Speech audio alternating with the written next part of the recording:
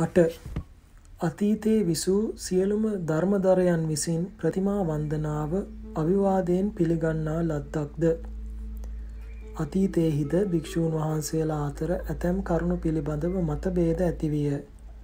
එබඳු කරුණු බොහෝ ගණනක් බුදුගොස් හිමියන් විසින් ලියූ අටුවා පොත්වල සඳහන් කොට තිබේ. ඒ ඒ ආචාර්වරයන්ගේ මතද වෙන වෙනම දක්වා තිබේ. අභිධර්ම පිටකයට අයත් කතාවත්තුප්පකරණය ඇති වූයේ එකල පැවති නානාවාද නිසාය.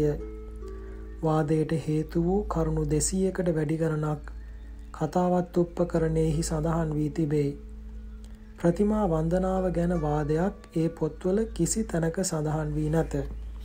එයින් පිළිගත යුත්තේ මහරහතන් වහන්සේලා ඇතුළු අතීතයේ විසූ සියලුම ධර්මදරයන් විසින් ප්‍රතිමා වන්දනාව අවිවාදයෙන් පිළිගන්නා ලද බවය.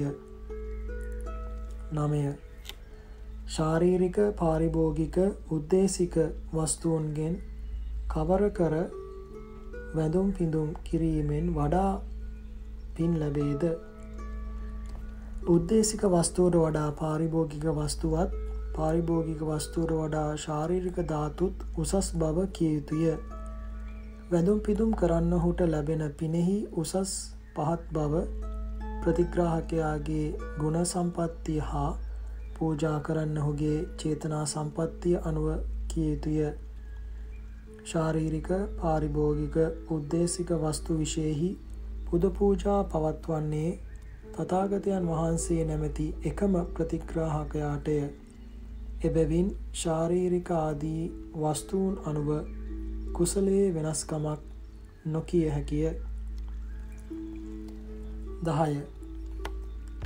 ධාතුන් වහන්සේලා හැඳින ගැනීමට ඒවායේ යම් කිසි ප්‍රාතිහාර්ය දැක්වීමක් ඇත්තේද ධාතුන් වහන්සේලාය කියන්නේ පිරිනිවන් පා වදාළ තථාගතයන් වහන්සේගේ ශ්‍රීදේහය ආදාහනය කිරීමෙන් පසු නොදැවී ඉතුරු වූ කොටස්වලටය ඒවාට ධාතුය කියන්නේ දැනීමක් නැති නිසාය සත්ව පුද්ගල භාවයක් නැති නිසාය සත්ව පුද්ගල භාවයක් නැති ඒ ධාතුවන්ට ප්‍රාතිහාර්ය දැක්වීමේ අදහසක් හෝ උත්සාහයක් කවදාවත් ඇති නොවෙයි.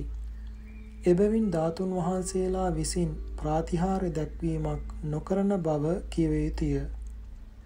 බුදුන් වහන්සේ විසින් උන්වහන්සේගේ ඉර්දි බලයෙන් මේ ධාතුන් වහන්සේලා සම්බන්ධයෙන් යම් කිසි ප්‍රාතිහාරයක් වේවායේ අධිෂ්ඨාන කොට තිබුණහොත් ඒ දේ සිදුවිය හැකිය. මිනිසුන්ගේ ශ්‍රද්ධාව දියුණු කිරීම පිණිස සමහර විට දෙවියන් විසින් ධාතුන්ගේ ප්‍රාතිහාරය දැක්විය හැකිය.